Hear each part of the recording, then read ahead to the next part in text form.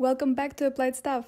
My name is Liliya, and this is the place where ideas meet practical application.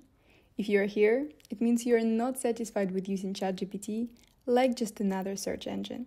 You want precision, you want control, you want results that don't make you stop mid sentence and think, wait, did I just make that up? Well, in this case, let me tell you something you're in the right place. This is episode 2 of the Applied Artificial Intelligence Mastering ChatGPT playlist. In our last episode, we talked about the art of prompt engineering and how to craft prompts so clear and well designed that the artificial intelligence practically hands you exactly what you need on a silver platter. But here's the thing even the best prompt in the world can crumble if you don't know how to manage context and memory.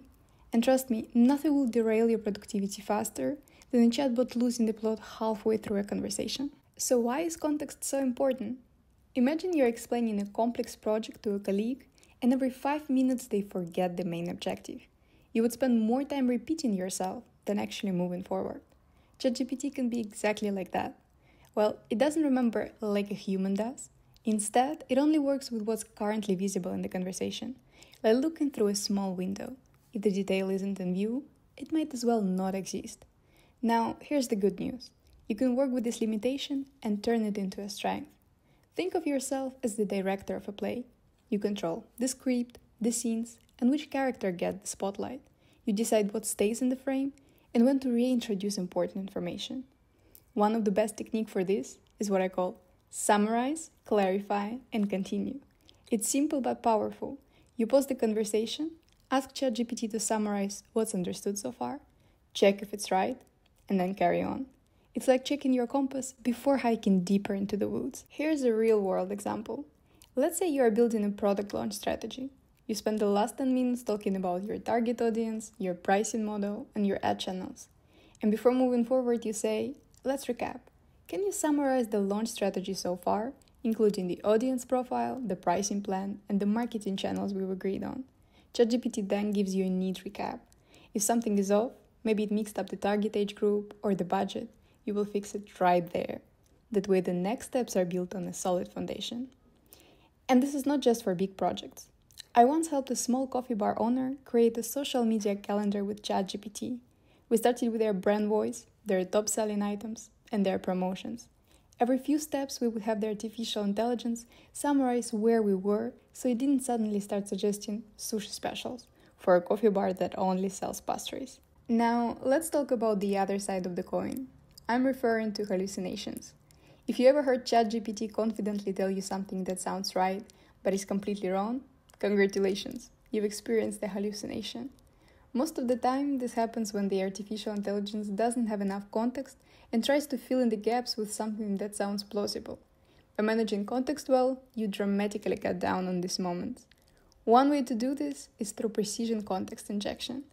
That's a fancy way of saying give ChatGPT only the exact information it needs right when it needs it.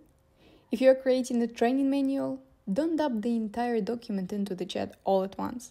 Start with the basics. This manual is for beginner customer service reps. Then, when you get to the troubleshooting section, you add in the relevant policies, scripts, and examples. It's like seasoning food. Add it at the right moment for the best flavor. Let me give you another applied business example. I worked once with a startup founder who wanted ChatGPT to draft investor pitch decks. At first, they were pasting all their notes into one huge prompt, and the result? A messy and unfocused pitch. And once we switched to feeding the artificial intelligence one section at a time, one problem at a time, such as, mm, let's say, vision, problem, solution, market size, and recapping between each, the output became razor sharp. Investors commented on how clear and consistent the message was and that is the power of controlled context. Sometimes the best move is to reset the conversation entirely. I know it feels like stopping a Netflix series halfway and starting again, but if the thread has gone too far off track, a fresh start with a clean summary can save you from hours of frustration. For example, in project management, if your chat has drifted after 20 different side discussions, you can open a new chat and paste in. We are managing Project X. The goal is to launch in October. The team has five members. The current phase is prototype testing. The main challenge is supplier delays. Now, I need your help to create a contingency plan. And boom, the artificial intelligence is back in the zone. The takeaway is simple don't let ChatGPT wander off into the weeds. Summarize often, clarify when needed, and continue with a strong sense of direction.